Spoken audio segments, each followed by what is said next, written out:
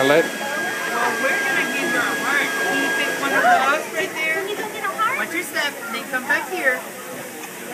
All right, sweetie.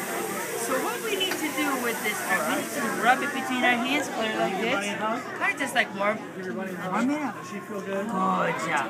Now can you rub it on your nose, your bunny nose, yeah? How about you rub it in your ears? So she's gonna be a good listening fan. Now can you give the heart a, all your love? Kiss it. Can you kiss the heart? Kiss the heart. Give it a kiss.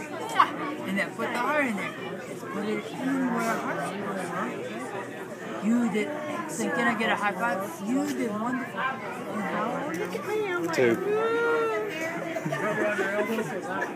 I have trouble having eight-year-olds do that stuff. You did awesome. All right. Now all of our bears will have a barcode in there.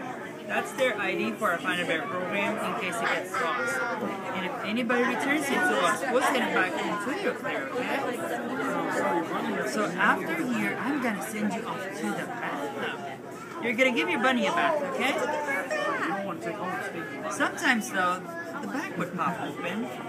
Um, if you want to visit our store at the Park Plaza, they can fix it for you.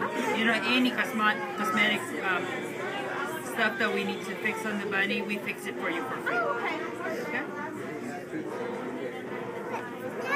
Well, that's the tube that we have inside to help me stuff it. It's perfect.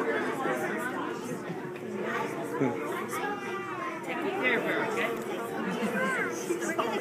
Thank you. How are ya? What's your name, bud? All right, here you go, Taylor.